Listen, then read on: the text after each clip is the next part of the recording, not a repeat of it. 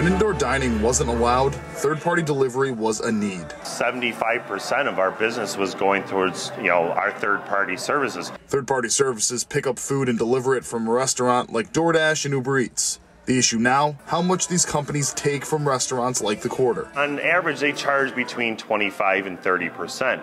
Now, your standard restaurant, the profit margin on food is only 25 to 30 percent. Owner Brandon Carr thinks it's a problem and went to the Erie County Legislature, who are now looking to pass legislation to cap third party service fees at 20% during a declared emergency. They shouldn't be gouged by, you know, these third party vendors from, you know, Silicon Valley. Members of the minority caucus initially proposed this in December. It cleared the legislature on Thursday. They are now calling on lawmakers in Albany to make this a statewide mandate. If that doesn't happen, I plan to push forward on our local law uh, again so that we can get that done. For the cap to go into effect, the legislature would need a public hearing to happen first. When asked for comment, one third party delivery service, DoorDash, said pricing regulations could lead to higher costs for customers and fewer orders for restaurants. The legislature says language in their proposal would prevent increases to customer costs, which is a good sign for restaurants like the Quarter. We need to come up with something that makes sense for the entire industry to where we can still make a little bit of profit.